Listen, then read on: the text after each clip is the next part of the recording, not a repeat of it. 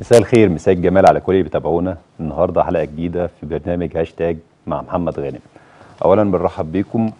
والنهاردة معانا فقرات آه، مختلفة ومتنوعة إن شاء الله تنال إعجابكم. هنبدأ فقرتنا الأولى في مجال آه، القانون والعقارات اللي هيكون فيها ضيفنا إن شاء الله الأستاذ محمد عريبه المحامي. أهلا بيك يا فندم. والأستاذ حجازي عبد الرسول آه، صاحب شركة الإسراء للإستثمار العقاري. أهلا بيك يا فندم. أهلا بيك. أهلا بيك يا أستاذ محمد. طبعا إحنا في ال... كان لينا حلقة قبل كده مع بعض واتكلمنا مع بعض عن قانون آه، وقف التراخيص لمدة ست شهور.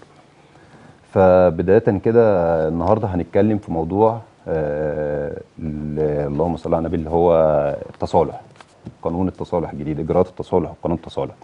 هنبدأ الأول بس بسؤالنا للحاج حجازي آه، بما إنك في المجال الاستثمار العقاري إيه الأضرار اللي تسبب فيها قانون وقف ال- الأعمال أو وقف التراخيص لمدة ست شهور؟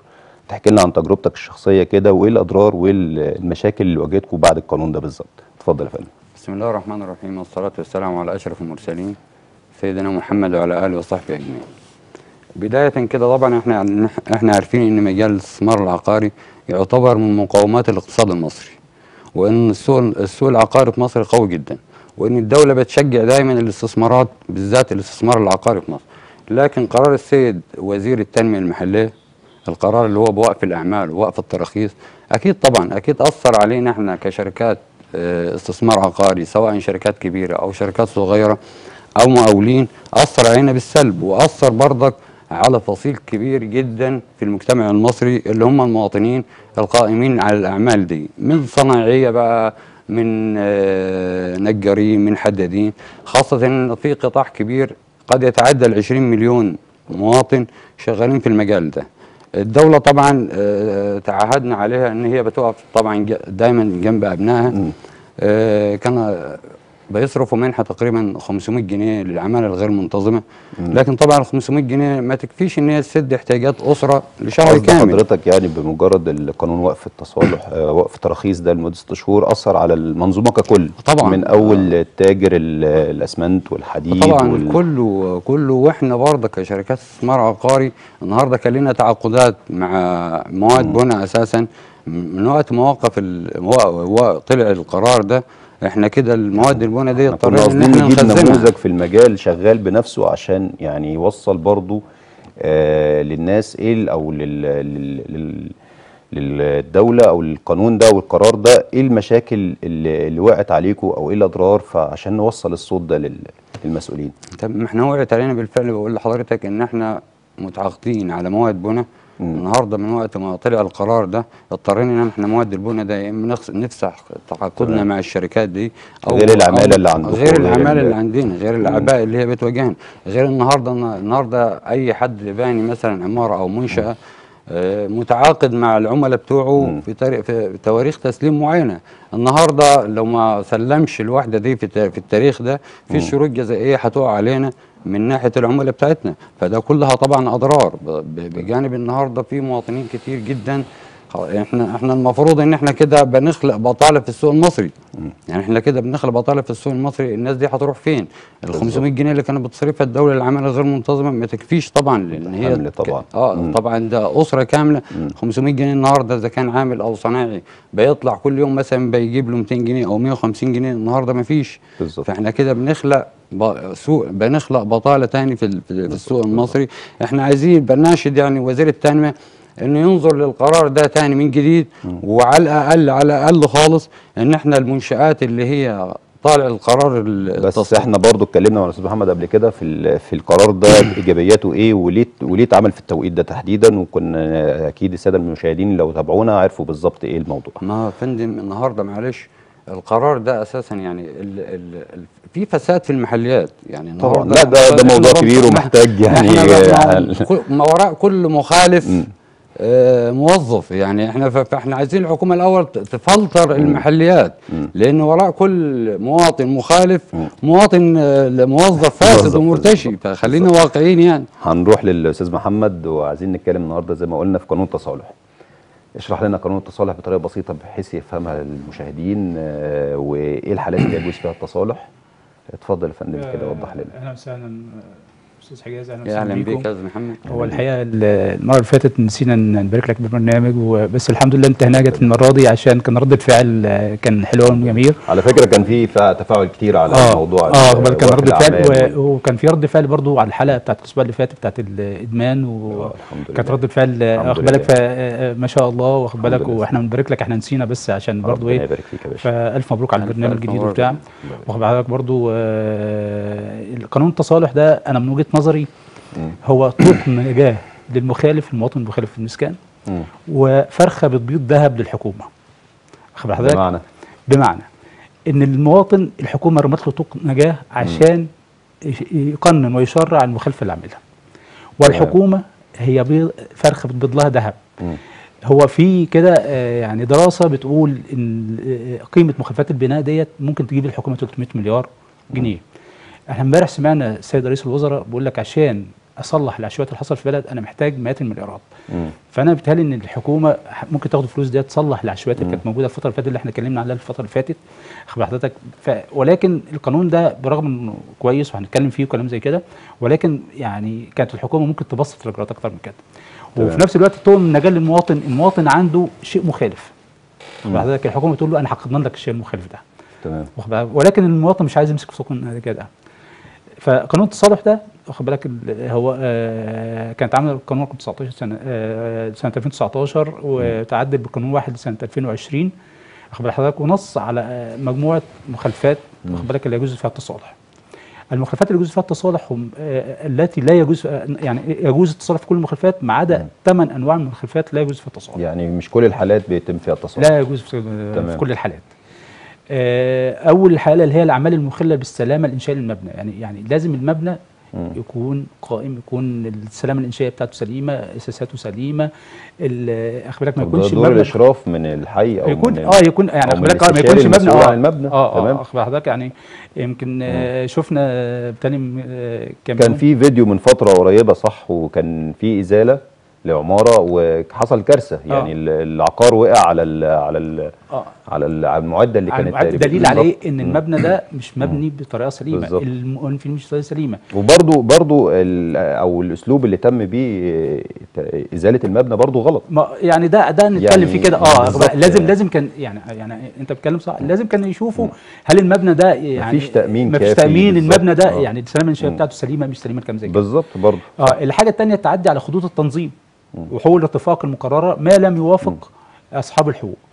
يعني إيه خطوط التنظيم؟ يعني حضرتك؟ دلوقتي بتقولي للسادة المشاهدين على الحالات اللي ما بيتمش فيها ما- التصالح آه آه تمام. بالك التعدي على خطوط التنظيم أو حقوق الارتفاق ما لم يوافق أصحاب الحقوق. تمام. إيه هي خطوط التنظيم؟ خطوط التنظيم أنت عارف حضرتك إن لما بتيجي تبني عمارة لازم كل العماير في الشارع بتبقى مستوى واحد محدش يطلع محدش يدخل. واخد بالك؟ فأنت لو تعديت طلعت لا يجوز التصالح ولكن واخد بالك وأنا اعتبره عيب للقانون. وبرجعني برضو للجهه الإدارية اللي هي الحي اللي انت عارف حضرتك الموضوع زي كده. واخد بالك ما لا ينفق الجهه الإدارية. ممكن الجهه الإدارية تقول لك إيه؟ يعني التعدي على خط التنظيم ده ما يأثرش جامد على الحي. مثلا ممكن يكون تعدي متر واخد متر في الرصيف كده. فما تاثرش جامد. يعني لو الجهه الإدارية وافقت على التصالح على التعدي على خطوط التنظيم توافق. حقوق الارتفاق ده ده بين بين الأشخاص. طبعا حقوق الارتفاق كتير حق المرور وحق ال- ال- المروة وحق ال- المسقى وحق العلو. حق العلو اللي هو من ضمن الحقوق ال- الارتفاع حق الارتفاع اسمه اللي هو إيه؟ إن أنت ممكن واحد يبني فيداري عليك. يعني واخد بال حضرتك. فأنت من هنا هنا كده لا يجوز. مم. بس لو وافق الراجل صاحب الشقه فهنا يجوز التصالح. صاحب الشأن اللي هو صاحب الشأن اللي هو آه، مضرور. اللي وقع الضرر يجوز. التصالح. أنت بتروح. تجيب صحيح واخد بال حضرتك. الحاجة الثالثه المخل المخالفات الخاصة بالبياني والمنشات ذات الطراز المعماري المعين.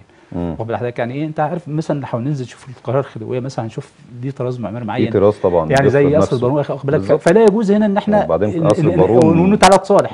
آه، واخد آه، الحاجة الرابعة قيود الارتفاع الخاصة بسلطات الطيران المدني أو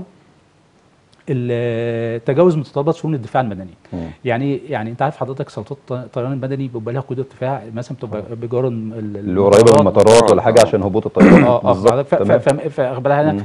فهنا لا يجوز التصالح حاجات زيت يعني انت أخدت ارتفاعات أكتر من كده أو ال- الدفاع المدني. الدفاع المدني انت انت لازم يبقى افرض حصل حريق في دور معين فلازم تبقى عندك الهيئة بتاعت الدفاع المدني مثلا توصل للحريق ده فما تجيش تبني لي عماره جامده وأنا عندي المعدات ما توصلش. واخد حضرتك ف- فهنا لا يجوز التصالح على على حدود الارتفاع ده. أو مثلا مرة ونص عرض الشارع. واخد حضرتك يعني يعني أنت عارف أنت عارف حضرتك عشان ترتفع يبقى مرة ونص عرض الشارع. صح. ما تجيش يبقى عندنا عمارتين في وش بعض وكده. تقريبا الارتفاع العقار مرة ونص عرض الشارع. آه ده- ده- آه، آه، خامس ح- حاجة اللي هو ال- ال- ال- المباني على أراضي مملوكه للدولة. إلا إذا قننا صاحب الشأن. أنت عارف حضرتك كان الفترة اللي فاتت في تقنين اللي أنت وضع إيدك على آه، وضع يدك على احتطاب بقى بالظبط. وبعد دي أرض دولة.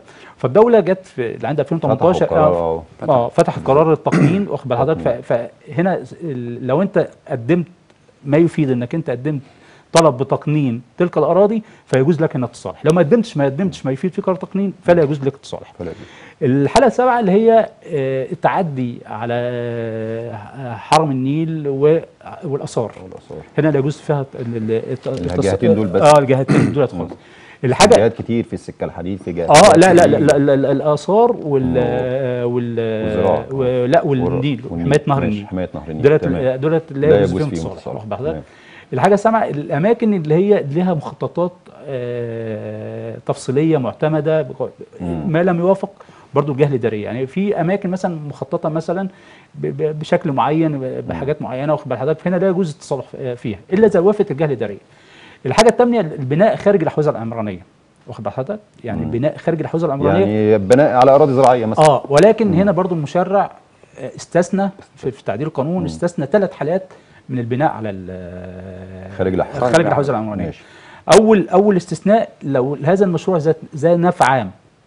واخد بالك يعني إيه يعني يعني ذات نفع عام. يعني الدولة هي اللي بتعمله. واخد بالك؟ فهنا يجوز هنا ال- الكلام. اللي هي المشروعات الحكومية والمشروعات ذات النفع ثاني حاجة الكتل السكنيه المتأخمة لل- للأحوزة العمرانية. يعني إيه يا أستاذ محمد؟ يعني في حضرتك إحنا دلوقتي عندنا حوزه عمرانية. ولكن في ناس بنت بنت. خارج الاحوزه العمرانية ديت بقت كتلة سكنية محددة. ولكن التصالح هنا في الخارج ده لازم دي شرطين. أول حاجة يبقى في آه، مبنى كامل فيه كهرباء ومية ونور وكل حاجة من الكلام ده كله. واخد حضرتك؟ يعني مبنى كامل مثلا الراجل قاعد فيه بقاله فترة بقاله سنين بس هو خارج الحيز العمراني. تاني حاجة الأرض المبنية عليها أصبحت لا تصلح للزراعه مم. واخد بالك؟ فهنا كده يعني أنا لو هديته ما كده كده الأرض ما أصبحت مش صالحه للزراعة، مش هستفاد حاجة. فكده يبقى أنا خارج الاحوزه العمرانية في حاجتين المشروعات ذات النفع العام. يعني ليه استثناء؟ يعني مش آه الاستثناء. أو ال- ال- المباني المتأخمة للاحوزه العمرانية. ده ده اللي هو إيه الحالات التي لا يجوز طب إيه. هي إجراءات القانون نفسه قانون التصالح؟ هو إجراءات قانون التصالح واخد حضرتك ال- يعني يعني واحد مخالف عايز يتصالح. آه. إيه إيه الإجراءات اللي بتتم؟ آه، أول حاجة آه، لو عنده مخالفة يجب أن يقدم دليل المخالفة. تمام. دليل المخالفة ديت واخد حضرتك داخل الاحوزه العمرانية آه، لشهر 3 2019 خ- آه، شهر 7 2019 خارج الاحوزه العمرانية شهر 7 2017 آه، يعني على ما أتذكر يعني. آه، قدم دليل المخالفة ديت إيه بقى تقديم دليل المخالفة؟ مثلا افرض هو مدخل عامل مخالفة بس مدخل كهرباء ومية ونور واخد بالك؟ فيجيب تاريخ إدخال كهرباء ومية ونور. واخد بالك؟ في محضر معمول مثلا يعني تعمل له محضر مخالفة. أثبتت إن في مخالفة إن في. مخالفة قبل طب قبل هنروح للأستاذ حجازي. هل القانون ده كان فيه جدوى منفعة لل آه هو في منفع إن أنت النهارده بتقنن وضع مخالف. فطبعا في أضرار وقعت عليكم برضه لا ولا هي مش؟ أضرار آه. لكن إحنا بنتكلم عن الإجراءات نفسها.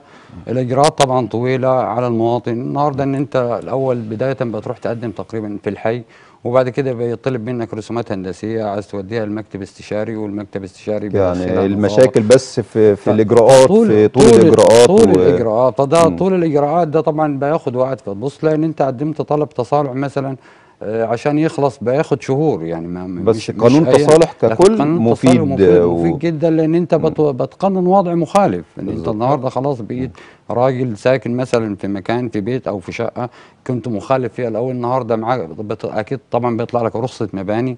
آه، أنت كده وضعك، آه، يبقى بتقنن استفادت وضعك وأنت استفدت استفدت إن أنت كده ما. بقتش مخالف. ال- ال- الإجراء- بقية الإجراءات إن حضرتك يبقى أول حاجة آه، تقديم أو إثبات تاريخ المخالفة. واخد بالك إثبات تاريخ المخالفة ديت وبعد حضرتك قلنا بمحضر آه، آه، اعداد كهرباء ومية افرض مثلا عامل توكيل لحد تاني. بعد كده بتاخد آه، سند الملكية. سريعا بس. ماشي آه، ماشي حضرتك. بتاخد ما عشان ما- عشان بس المواطن يبقى عارف. سند الملكية بتاخد سند الملكية وبتاخد صورة الب... صورة البطاقة ولو محامي بتاخد التوكيل للشقه طيب وتروح محمد معلش بالظبط، سؤال. بس أنا- يعني. طب افترض أنا أنا أنا معلش عشان وقت. بس ال- الحلقة بتاعتنا فاصل وهنرجع لكم.